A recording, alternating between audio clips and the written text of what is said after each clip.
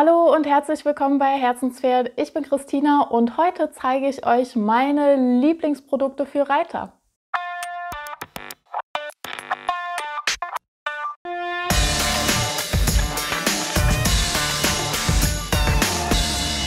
Erstmal vorweg, keine dieser Produktvorstellungen ist gesponsert. Das heißt, niemand bezahlt mich dafür, dass ich hier diese Produkte zeige. Ich nutze die einfach permanent und finde sie richtig gut und würde auch sowieso selbst bei gesponserten Sachen immer nur das vorstellen, was ich gut finde. Aber wie gesagt, keines, für keines dieser Produkte bin ich bezahlt worden. Mein erstes absolutes Lieblingsprodukt ist meine Reitleggings von Royal Horseman. So sieht sie aus. Ähm, sieht man jetzt hier natürlich nicht besonders gut. Es ist halt eine Reitleggings. Und es gibt viele Reitleggings auf dem Markt. Ich liebe die allgemein total, weil sie einfach super, super bequem sind.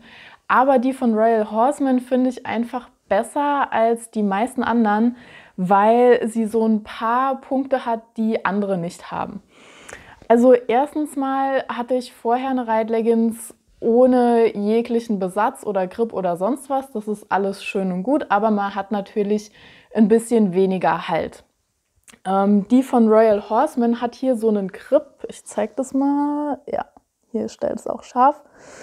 Und normalerweise bin ich überhaupt kein Fan von Silikongrip, weil der entweder irgendwie komische Abdrücke macht oder es klebt einen total seltsam in den Sattel. Also ich mag das nicht, wenn der Grip einen so festklebt, weil ich oft auch auf längeren Touren unterwegs bin und dann man dazu neigt zu scheuern. Also wenn der Grip zu viel klebt, bedeutet das für mich scheuern und das mag ich überhaupt nicht. Aber der Royal Horseman Grip, der ist einfach so, ich weiß nicht, was die anders machen, aber der gibt Halt, ohne zu kleben. Also es ist so vom Gefühl her fast so ein bisschen eher, als hätte man einen, einen Lederbesatz oder einen Kunstlederbesatz. Und der ist auch super flach, dieser Grip, den merkt man kaum. Also er macht keine Abdrücke im Sattel oder sonst was. Und ähm, ihr seht auch, dass hier ist in der Sitzfläche, Moment, ich muss hier mal gucken, dass das irgendwie scharf ist. Ja, also das hier ist die Sitzfläche. Ich nutze diese Hose jetzt schon seit über einem Jahr. Da rubbelt nichts ab. Da sieht man überhaupt kein... Nee, man sieht, wenn ich das jetzt vergleiche zum Rest, also der Besatz geht auch bis runter zu den Knien. Ist alles da. Ähm, ja, hat sich eigentlich zum ursprünglichen Zeitpunkt, als ich sie gekriegt habe, nicht wirklich verändert, regelmäßig gewaschen. Ähm, ich hatte sie auch letztes Jahr sechs Wochen in Island mit, wo ich wirklich jeden Tag viel auf dem Pferd gesessen habe und ja, hält alles wunderbar.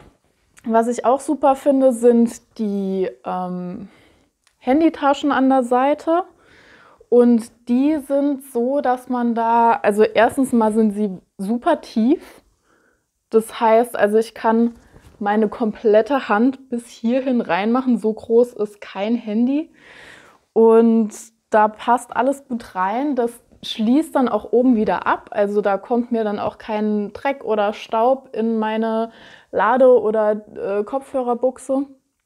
Und die sind so gesetzt, dass ich auch während des Reitens das Handy gut rein und raus machen kann. Also manche Taschen sind für mich zu hoch. Und dann habe ich da so ein bisschen diesen Knick in der Hüfte und es ist irgendwie, also nicht in der Hüfte, sondern zwischen Oberschenkel und Hüftknochen. Und dann ist es irgendwie schwierig, das Handy da reinzumachen. Dann finde ich gut, sie hat ähm, Gürtelschlaufen. Ja, also ich brauche die ja eigentlich bei einer Reitleggings, hat für mich zumindest mal den Sinn, dass die so gut sitzt, dass die nicht rutscht und ich keinen Gürtel brauche. Und wenn ich da einen Gürtel dran habe, dann liegt es auch daran, dass ich dann eine Tasche dabei habe oder sonst irgendwas, was ich am Gürtel festmachen will. Also es geht nicht darum, die Hose oben zu halten, sondern den Gürtel nutzen zu können, um da noch irgendwas dran zu befestigen, finde ich super gut. Gerade weil ich oft beim Reiten mal Kameras oder sonst irgendwas dabei habe. Und für mich auch absolut, es ist so einfach, aber sind, die anderen sind irgendwie nicht drauf gekommen. Hier, das ist der, der Bund der Hose unten, hier gibt es innen auch noch so einen Silikonstreifen.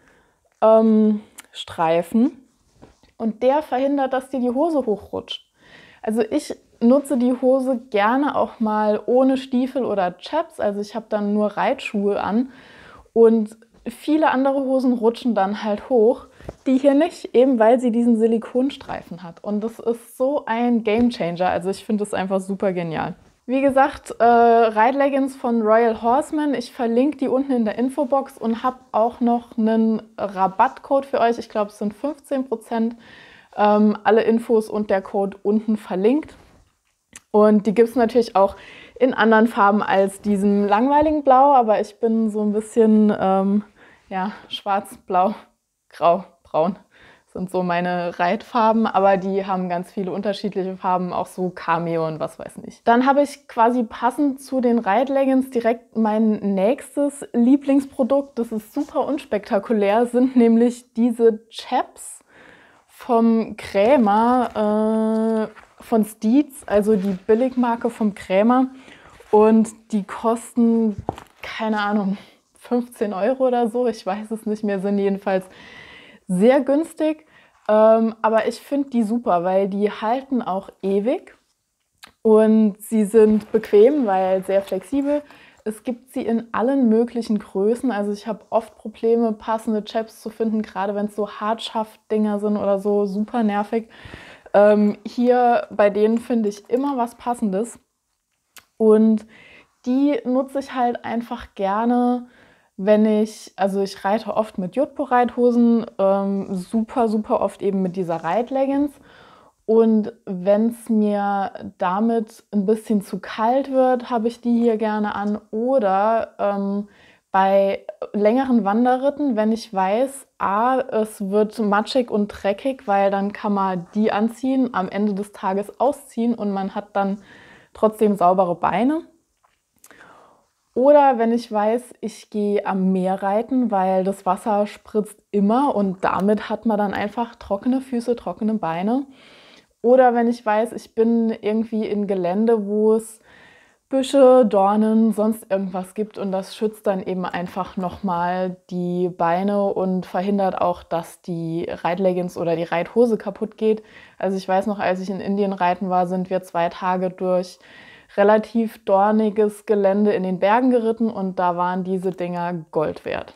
Und dann passt es quasi gerade den dritten im Bunde meiner Reitausrüstung und zwar sind das meine Wanderschuhe von Lova.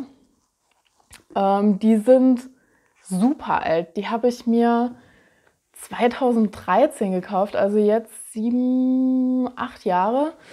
Ähm, und Natürlich sind die da ein bisschen teurer, aber ich meine, was haben die gekostet? 180, 190, 200 Euro.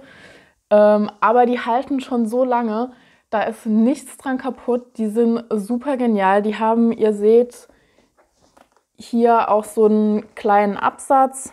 Also zum Reiten, dass man nicht in den Bügel reinrutscht, passt das auch. Und natürlich sind das jetzt keine schicken Reitschuhe, die jetzt irgendwie super zum Dressurreiten, was weiß ich. Aber ich nutze die total gerne beim Ausreiten, bei Wanderritten, weil es sind eben Wanderschuhe. Das heißt, ich kann auch mal absteigen. Ich kann damit längere Strecken durch die Gegend laufen.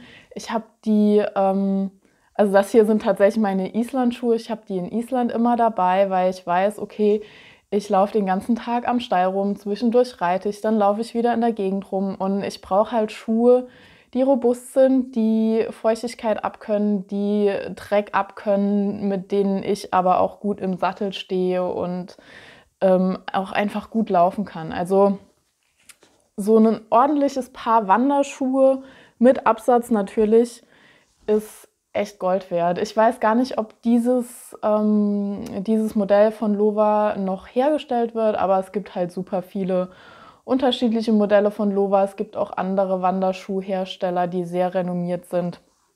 Und da muss man natürlich immer gucken, was so für den eigenen Fuß passt. Aber ich liebe meine Lovas auf jeden Fall. Ich glaube, die hießen Renegade oder sowas. Ähm, ich kann es auch innen drin nicht mehr lesen, weil sie einfach so alt sind.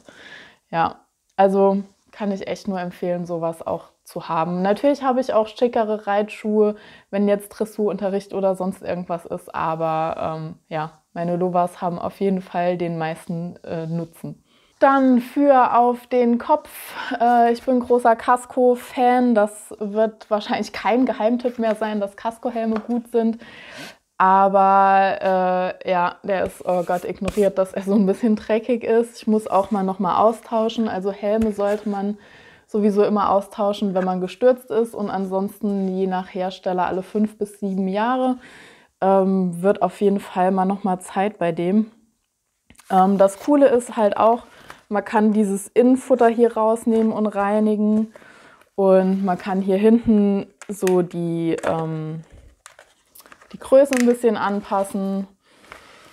Ja, Kaskohelm halt, aber ich bin echt vollkommen überzeugt davon. Ich habe seit, ich weiß es nicht, 20 Jahren Kaskohelme und bin auch schon gestürzt mit Kaskohelmen und bisher haben sie meinen Kopf immer sehr gut geschützt und ja, ist schön leicht, hat gute Belüftung, also kann ich echt nur empfehlen.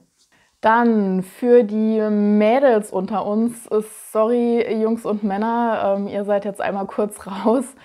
Äh, Sport BH zum Reiten. Die Mädels wissen es ganz, ganz wichtig, weil wenn man keinen ordentlichen Sport BH anhat, kann das unangenehm werden.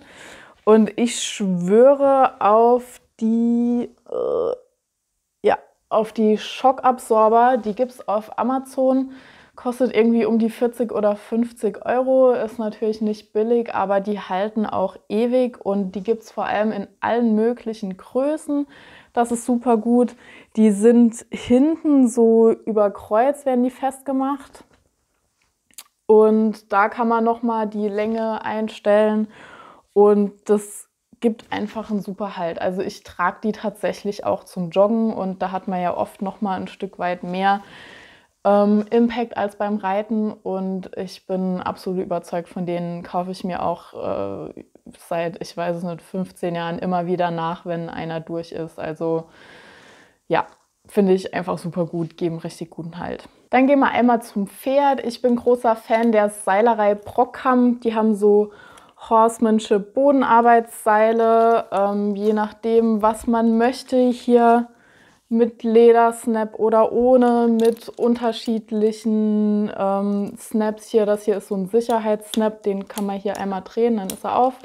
Aber das Pferd kann sich jetzt nicht wie beim Karabinerhaken den aufreißen, äh, nicht ein Karabinerhaken, diese anderen Dinger. Also finde ich eigentlich super gut. Und die haben ganz viele Sachen, also da gibt es Knotenhalfter, da gibt es Bodenarbeitsseile, da gibt es Halsringe. Ähm, Procamp hat da wirklich eine super gute Qualität. Die Sachen halten auch ewig. Gibt es in ganz vielen verschiedenen Ausführungen und Farben.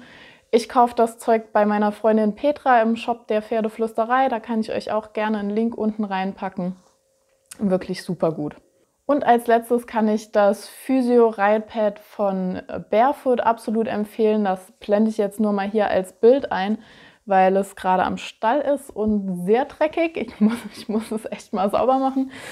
Und das finde ich einfach super gut, weil es ähm, einmal wahnsinnig guten Halt bietet. Also da ist man echt wie reingeklebt. Das ist total bequem. Und ähm, Im Unterschied zu vielen anderen Reitpads hat es eben so ein bisschen Wirbelsäulenfreiheit und man kann das auch noch aufpolstern. Also ich habe hier, weil ich die im Moment nicht drin habe, gibt es für beide Seiten ähm, diese Polster, die man dann noch reinmachen kann und das gibt dann nochmal ein bisschen zusätzlichen Schutz für den Pferderücken. Also je nachdem, wie das Pferd aufgebaut ist, wie sein Rücken aussieht, kann man da immer nochmal unterpolstern. Und das finde ich einfach super praktisch, weil man das dann so ein bisschen flexibler anpassen kann. Wichtig darauf zu achten bei solchen Reitpads ist, dass da keine Steigbügel dran sind, weil die meistens dadurch, dass es da eben nichts gibt, was das Gewicht über den ganzen Rücken verteilt, hängen die Bügel quasi an einer Aufhängung und dann so an einem Punkt vom Pferderücken. Wenn du dann da mit deinen Füßen drin stehst und da Gewicht drauf bringst, dann kommt da immer so ganz punktuell auf diesen einen Punkt am Rücken Druck und das ist natürlich fürs Pferd nicht gut. Also es gibt ganz unterschiedliche Ausführungen von solchen Bareback Pads und in der Regel ist es so, dass diese ganz billigen, die man auf Amazon findet oder ähm, sonst wo mit Bügeln eben nicht besonders gut sind. Da muss man schon ein bisschen mehr Geld ausgeben. Soweit ich weiß, gibt es auch Sättel, die dann Bügel haben, die aber auch nochmal anders aufgebaut sind. Also da muss man sich ein bisschen mit befassen. Ähm, und in der Regel ist es aber so, dass man eigentlich fast sagen kann, wenn das Pad sehr günstig ist und da Bügel dranhängen, dann ist es eher schädlich fürs Pferd. Also die ähm, Barefoot-Pads sind super, die Procamp-Pads sind super. Andere habe ich noch nicht getestet, aber die zwei sind auf jeden Fall ähm, eine gute Sache. Gibt es auch in ganz vielen unterschiedlichen Farben. Meins ist schwarz, weil ich, wie gesagt, langweilig bin und alle meine Reitsachen schwarz-blau oder braun sind. Ja, das war es erstmal mit meinen Produktempfehlungen. Es gibt da natürlich noch viele andere Kategorien. Falls euch das interessiert, schreibt mir das doch gerne mal in die Kommentare. Schreibt auch gerne mal eure Lieblingsprodukte in die Kommentare. Ich freue mich immer über Tipps zu neuen Sachen. Und ansonsten hoffe ich, das Video hat euch gefallen und wir sehen uns nächste Woche wieder. Macht's gut, ciao!